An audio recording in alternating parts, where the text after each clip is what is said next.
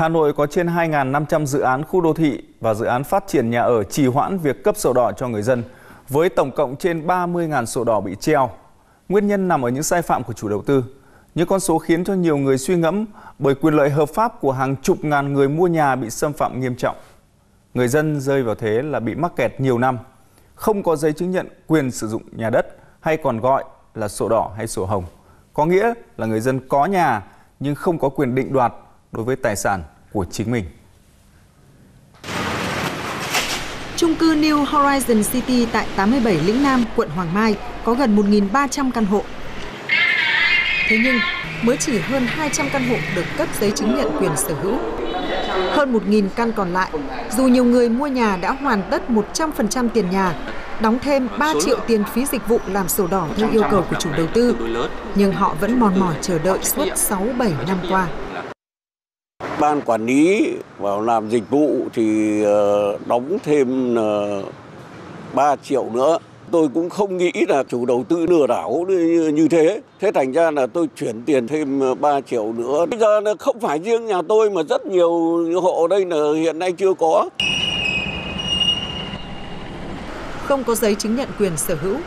Rất nhiều rắc rối đã đến với hàng nghìn người dân mua nhà nơi đây bởi họ không có quyền định đoạt tài sản của chính mình người ta sẽ không không nhập khẩu cho mình khi mà không có cái sổ hồng sổ đỏ.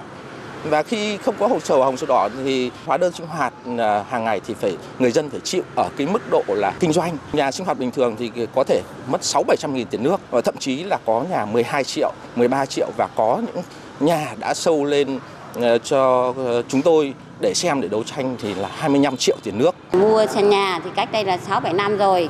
À, bây giờ là muốn coi như là muốn sổ đỏ để mà mình bán cho nó tiện. Nhưng mà không có sổ đỏ họ cũng không muốn mua bởi vì họ bảo là không có sổ đỏ họ mua họ ngại. Bỏ ra trên dưới 2 tỷ bạc người ta mua một căn hộ để ở và nó một cái tài sản. Không có sổ thì thì cũng không chứng minh được cái chủ quyền và không làm được những vấn đề coi như liên quan đến kinh tế và cái thừa kế chuyển nhượng ấy cho nên là cư dân rất là bức xúc. Đại diện ban quản trị trung cư cho biết Sở dĩ quá trình cấp sổ đỏ tại dự án này bị treo do cơ quan chức năng phát hiện nhiều sai phạm của chủ đầu tư. Thế nhưng trong nhiều năm qua, chủ đầu tư lại chây ì không khắc phục các sai phạm. Tiền thuế gần 500 tỷ đồng, công ty cổ phần kỹ thuật Việt Nam không nộp cho nhà nước.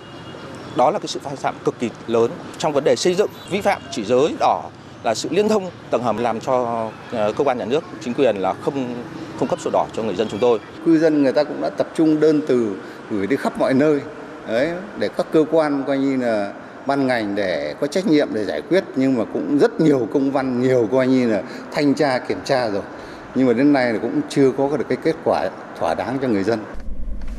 Đặc biệt hơn nữa, ngoài rất nhiều sai phạm, dự án chung cư này đã được chủ đầu tư mang đi thế chấp, cầm cố tại Ngân hàng Thương mại Cổ phần Đầu tư và Phát triển Việt Nam chi nhánh Hà Thành từ năm 2014.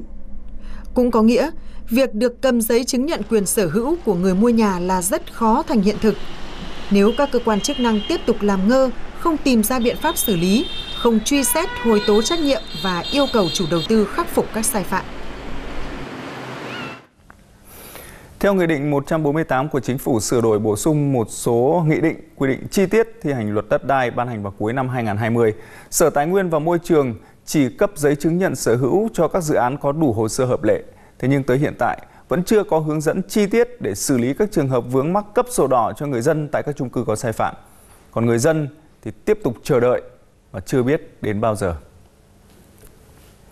Ngược lại với nỗi bức xúc của người dân mua nhà tại dự án vướng nhiều sai phạm ở quận Hoàng Mai, thì ở huyện Mê Linh, Hà Nội, sau 5 năm, hàng chục ngàn hộ gia đình người dân bức xúc về việc là không được cấp sổ đỏ đất nông nghiệp dồn điền đổi thửa theo quy định. Mới đây thì chính quyền cơ sở đã nhận khuyết điểm và vào cuộc mạnh mẽ, mọi vướng mắc được tháo gỡ tới từng hộ gia đình. Và chỉ trong vòng 2 tháng, có tới gần 15.000 sổ đỏ đã được cấp cho người dân. Trả giấy chứng nhận quyền sử dụng đất nông nghiệp cho các hộ trên địa bàn Người dân huyện Mê Linh đã quá quen với tiếng loa phát thanh, hướng dẫn các thủ tục hành chính chuyển đổi để được cấp sổ đỏ đất nông nghiệp dồn điền đổi thửa. Mấy tháng nay, ông Điều cũng như nhiều trưởng thôn khác được huy động đi từng nhà thu gom sổ cũ, nhận các giấy tờ liên quan để mang lên phòng địa chính xã, trợ giúp các hộ gia đình xác minh đính chính, làm giấy chứng nhận quyền sở hữu. Đúng cũng hơi, hơi phức tạp, hơi nhiều công việc. Thế qua các cái thông tin đại chúng của của xã Đài Truyền Thanh truyền đã, đã phát. Thế và kèm theo một cái là dưới thôn thì cũng phải triển khai lực lượng đến từng gia các gia đình để cho người ta nắm bắt được.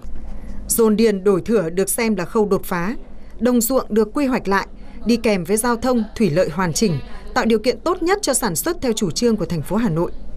Thế nhưng, đằng đẵng từ năm 2016 tới 2021, người dân nhiều xã mòn mỏi chờ xác minh địa chính, chờ để được cấp sổ đỏ mới.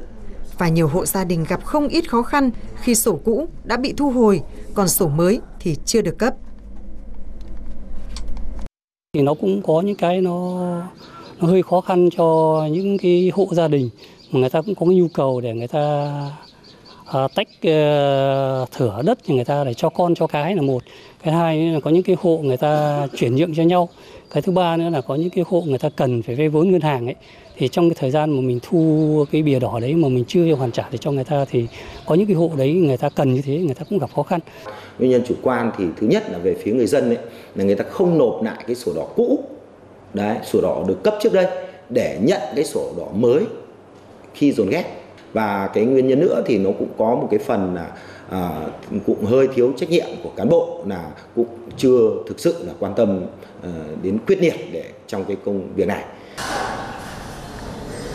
lập hồ sơ và ghi tên từng người một trong giấy chứng nhận. Từ đầu năm tới nay, sau khi thừa nhận công tác quản lý cấp sổ đỏ còn yếu, với sự quyết tâm vào cuộc, các cấp chính quyền huyện Mê Linh đã liên tục đốc thúc.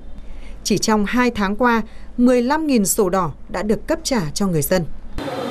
Quá trình tiếp xúc cử tri rồi à, một số ủy ban nhân dân các xã sau khi hết giãn cách thì cũng có công văn đề nghị nên tiếp xúc thì cử tri thì một số công dân cũng đề nghị là được trả sớm để đầu tư yên tâm sản xuất thì thực hiện cái nguyện vọng của người dân đó thì huyện ủy và ủy ban huyện đã vào cuộc chỉ đạo rất là quyết liệt đối với phòng tài nguyên môi trường và chi nhánh văn phòng đăng ký đất đai thuộc sở tài nguyên môi trường tất cả các cấp ủy chính quyền phải tập trung và phải hoàn thành cái kế hoạch này trong trước ngày 31 tháng 5. Trong 2 tháng xử lý mọi vướng mắc và cấp trả 15.000 sổ đỏ cho người dân.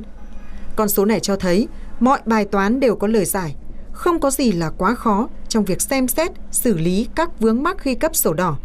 Chỉ là các cơ quan chức năng có muốn làm cho dân vì dân hay không mà thôi.